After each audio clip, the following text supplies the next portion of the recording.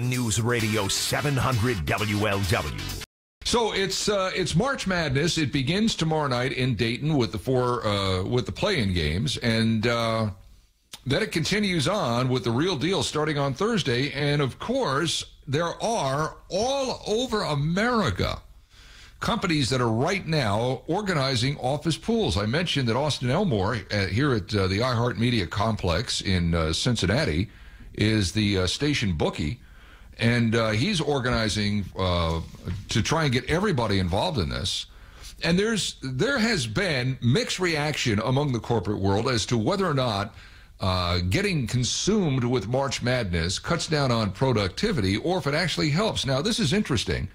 Office Team recently surveyed more than 1,000 managers on the effects of the NCAA tournament in their workplaces, and three out of four, 75% of these people that were, were surveyed said it has absolutely no effect on morale or productivity. If you go back to 2010, just 12 years ago, 41% of executives surveyed felt the tournament celebrations helped morale. 22% thought it hurt productivity. Are people taking more time away from their job to concentrate on basketball, or does basketball make it more of a, I guess, a productive work environment? Somebody that knows all about workplace environments, but on my show many, many times because he knows this stuff inside out. It is always great when we get Joel Patterson to join us because he knows exactly what all of this might mean for companies that want to stay productive. Joel, how are you on this glorious Monday? I am doing well, Ken. How about yourself?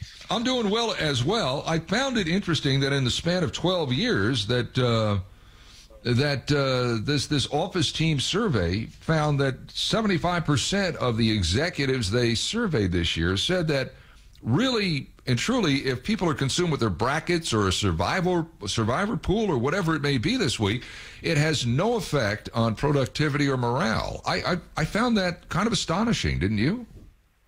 Yeah, it's a, it is a little surprising. I do think that it's you, you could throw another variable into you know how companies look at this and, and the work from home situation. People have gotten used to probably having their TV on in the background uh, or being distracted, where in the past March Madness might have created a little bit more of an issue, but but these days, uh, I, I, just don't know that people really care as much about it. And the fact that they uh, they they can get to a TV pretty much anytime that they want if they're working from home, yeah. I think has really kind of changed how we look at this. But I do believe that this is an important opportunity for companies to really invest in culture uh, and give people a reason to communicate about something that's not just work.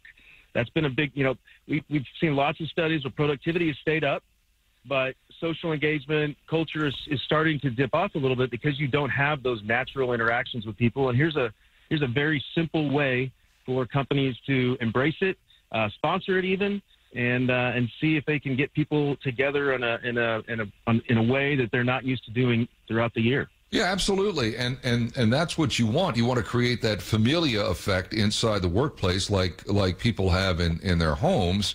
I'm wondering the, the, the survey done in 2010, uh, Twitter was in its infancy back then. I'm not sure if Snapchat even even existed back in 2010. But you make an interesting point. Uh, social media has evolved to a point where the phone is next to you all the time, whether you're working remotely or if you're working in the office. So there are distractions, if you will, uh, regardless, and people have found a way to work through them. This isn't 1990 no social media, and one television set in the office that everybody gathers around. It, that things have changed, and I think in a large way we can look at social media for that change. What about you? Oh yeah, no, I totally agree. I think that it's all there's so much information available to you at any time, and just with notifications. And I think you know, 10 years ago, 15 years ago, we might have the walking around manager, and he might see somebody's uh, uh, computer up with the bracket on there, some scores or something like that, and that would create tension and that would create issues typically around the office. And these days, if you're if you're if you're fighting that battle, you've already lost, mm-hmm. right? You can't be can't be wandering around looking and trying to look over everybody's shoulders because not only is it annoying, but there's no greater way to lose your A players than by micromanaging them. And and and frankly, they're gonna they're gonna look at that if they want to look at it anyway. So it's important to to again in this time embrace something that's unique and allow them to to really kind of have some fun. Um, you know, because they're still going to have people that just call in sick, right? Every year, 10 to 15 percent call in sick mm-hmm. for March Madness. I've actually got one colleague here this year that that decided to, uh, to, to big basketball fan decided to do the uh, the vasectomy scheduling a few days early, which I know is a big a big thing this time of year. Wow. Uh, and and so so have you've not heard of that? There's there's there's actually urologists that do promotions around this this time of year. Uh, I saw one the other day that said it's hip to get snipped. they they market it during this time, and and apparently it's about a 50% increase in their bookings over the three days that lead up to the first March Madness weekend. So so you can you can you go in and you get snipped, and you have to take off from work, is what you're saying. No guilt. It's completely guilt free watching as much basketball as you want for a couple of days. Right. But then again, you, you cut down on providing the world of your greatness in another generation, perhaps. I mean, who knows? I, I suppose you really have to think that through, right? That's a trade-off. You're no, there's no doubt about it. That's a that delicate balance right there. What was that? What was that phrase? Snip? Get hip to get snipped? It's hip to get snipped. Another really? one I heard was Vas Madness. Vas Madness. I had no madness. idea. Well, you know, I mean, I'm a, I'm a little bit older, so um, although as you may or may not know, Joel, I'm I'm very virile, but I'm a little bit older, so I probably haven't uh, probably haven't been up to date on that as much as I should. Uh, and, and the other thing you mentioned, which I think is interesting, working from home.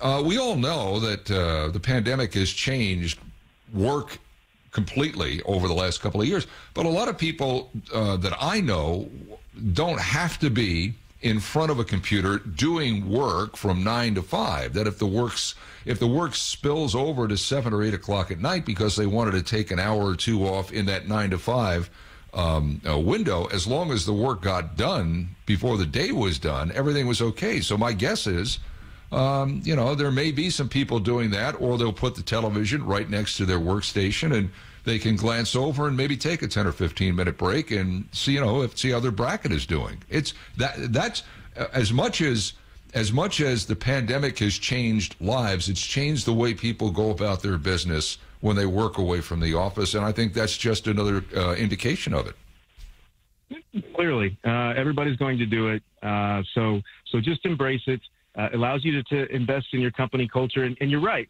as long as they're getting their job done, but that even all by itself, saying that is a, a big culture shift for some people because a lot of companies will manage to a task and or, or how you're actually getting that task done, not to a result. And if, if you're already managing to a result, you're ahead of the game and you're not going to be worried about March Madness. If you're worried about every little task along the way, you're, you're going to view March Madness as a complete distraction and you're going to hate it. Um, so it's really a, a, way to, to show your people that you do trust them. As, as simple as that might sound, it's a little counterintuitive, but it really does show trust and, and um, intention to support them long term. There's got to be bumpers, though. There's got to be speed bumps. I mean, how do you keep this stuff from getting out of control? I, I, I mean, maybe the, the answer to that is you have to have already created an environment or a culture there to keep things from getting out of control. But I mean, how do you get how do you keep it from getting where you know people are screaming at the TV and they're throwing you know paper wads at it because their brackets are up and you know all of a sudden it, it, it you know it gets into like a fraternity uh, brawl. How, how do you how do you prevent it from getting there? Well, you prevent that through your hiring process usually, um, and then you create a culture that allows people to self police something like that just shouldn't be acceptable in, in the culture, and people will let them know. You're always going to have somebody that tries to push the envelope, of course. And so you just have to have rules or policies in place that say, hey, if you get out of line, whatever that de- definition is for you, then this these are the consequences. Yeah. But but truthfully, I don't find that to be much of an issue these days. People, you know, social media is always there. It's throwing stuff in your face, but it's also showing you a lot of what not to do. And I think people really understand that. And and typically the the person that's going to be screaming is the outlier and the exception, and it, it doesn't really pay to make policy based on how they're going to behave. Joel Patterson, workplace expert. He works or heads up, I should say, the Vested Group, which is always at the top of the list of, of best places to work. By the way, how does somebody get a job with you if you're one of the best places to work? Uh, it's very easy these days because everybody's looking for people, good people to hire. Uh, but you go to thevested.com and uh, it's pretty self-explanatory. We'd love to talk to you. Okay, look, I'm going to throw you a curveball here, Joel, because I, I know oh. you can you can hit the curveball. I've, I've, I've thrown a few at you. Um, this really has nothing to do with, with March Madness, but it does have to do with work, and it does have to do with the economic realities of the day. Uh, inflation is through the roof, and gas prices are just staggering. Some people are saying it's uh, the, the, the price of a gallon of gasoline during the peak summer months of July and August may go as high as seven, eight dollars a gallon. We'll see. Um, do you think that will change uh, the philosophy of some of these uh, larger companies about having employees actually inside the building? In other words, burning gasoline, uh, going to and from home having to buy lunch, which may be exponentially more expensive than what it was before inflation hit. Do you think we're going back more down that road to working from home because of how much it costs to get an employee from home to a job? Maybe even with uh, things that don't pay a lot of money, like the food service industry. What do you think the economy and the, the fuel crises in this country? How do you think that's intersecting with the way companies may be going with their employees? Well, it's it's clearly going to be another chink in the armor um, for people that, that that want to come back to the office. I think the work from home folks will will continue to to look at those things and and try to point out why it makes more sense for them to be at home. But it's not just the financial decision. I think that's a big part of how this thing will function long term. But but the reality is we don't know yet. And the big reason for that is because a lot of the big guys still have not really executed on their plan. There's there's the, there's one extreme like Goldman Sachs who says they're bringing everybody back and they've started that process. Not real sure how that's going to play out yet. It's it's kind of up and down. You've got Google, you've got Apple, and they push their start dates out. I really feel like once somebody kind of draws that line in the sand and sticks with it, that gets a lot of attention, then you'll start seeing things break loose. Until then, nobody's really excited to be first. and yeah. and, and I, I can't imagine fuel costs and, and um, everything else that's going on these days isn't adding to the likelihood of people staying home more. But at some point, we have to hit a balance where, all right, are we going to stay? Are we going to go? And and I, I just don't think that there's enough information. There's not really uh, the, the one company that stepped out there and made it happen yet to prove whether that's going to happen long term or not. See, we've gone from uh, workplace analysis, who's staying at home and who's going, to wadding up paper and throwing at television sets to vasectomies, all in the span of one interview. It's unbelievable, Joel. Unbelievable. Thank unbelievable. you so much, Ken. All right, you stay well. We need to hear your voice. You do the same.